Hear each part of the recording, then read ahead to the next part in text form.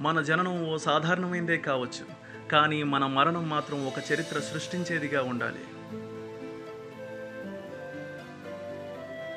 నేను అందంగా ఉండను కానీ నన్ను ఎవరైనా సహాయం అడిగితే నేను చేయగలిగింది చేస్తాను. అందం అనేది చూసే ముఖంలో ఉండదు సహాయం చేసే మనసులో ఉంటుంది.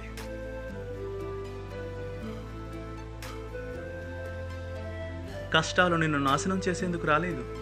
నీ శక్తి సామర్థ్యాలను బయటకు తీసి నిన్ను నువ్వు నిరూపించుకునేందుకే వచ్చాయి. కష్టాలకు కూడా తెలియాలి. నిన్ను సాధించడం చాలా కష్టమని. సక్సెస్ అంటే నీ సంతకం ఆటోగ్రాఫ్గా మారడం.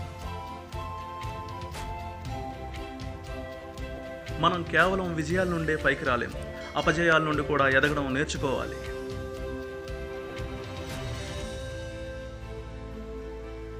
కళ అంటే నిద్రలో వచ్చేది కాదు నిన్ను నిద్రపోకుండా చేసేది. కళలు కనండి వాటిని సాకారం చేసుకోండి.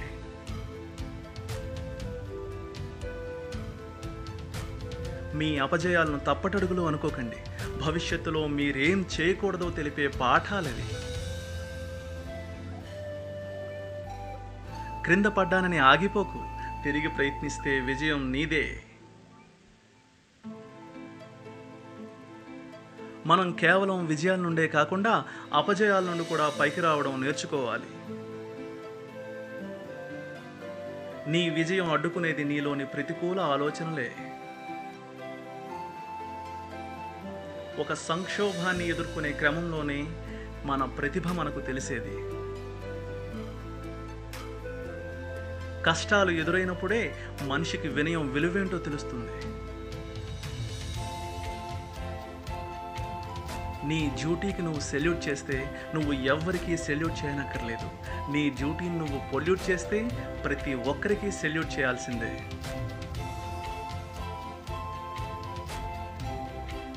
సక్సెస్ స్టోరీలు కాదు ఫెయిల్యూర్ స్టోరీలు చదివితే జీవితంలో ఎలా గెలవాలో తెలుస్తుంది.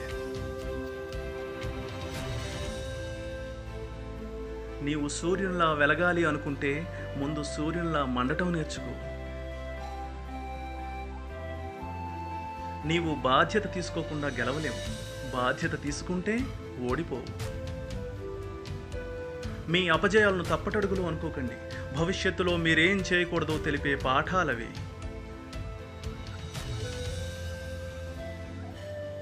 ఒక సమస్యను ఎదుర్కొనే సమయంలోనే మన ప్రతిభ కనబడుతుంది. ఒక్కసారి నీ మనసు ఒక స్థాయిలో ఆలోచించడం మొదలయ్యాక తిరిగి పాత ప్రమాణాల్లో ఆలోచించడం ఇంకెంత మాత్రం సాధ్యం కాదు. బాధ కలిగినప్పుడు కన్నీటిని వదిలే బదులు ఆ కన్నీటికి కారణమైన వాటిని వదిలేయడం ఉత్తమం. నేను నిత్యం రెండు మూడు కొత్త విషయాలు నేర్చుకుంటాను. మనిషి మెదడును సద్వినియోగం చేసుకోవడం నా ధర్మం. పొట్ట ఆకలి తీర్చేందుకు ఆహారం తింటా మెదడు ఆకలి తీర్చేందుకు విషయాన్వేషణ చేస్తుంటా. అహంకారం ప్రతి ఒక్కరి నుండి ఆఖరికి ఆ భగవంతుని నుండి కూడా నేను దూరం చేస్తుంది.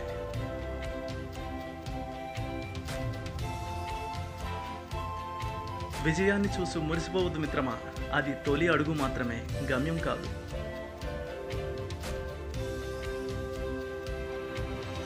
మనస్ఫూర్తిగా పనిచేయని వారు జీవితంలో విజయాన్ని సాధించలేరు.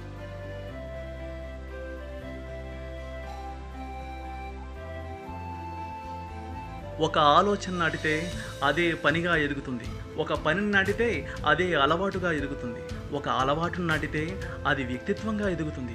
ఒక వ్యక్తిత్వాన్ని నాటితే అది తలరాతగా ఎదుగుతుంది. కాబట్టి నీ తలరాతను సృష్టించుకునేది మరెవరో కాదు మిత్రమా.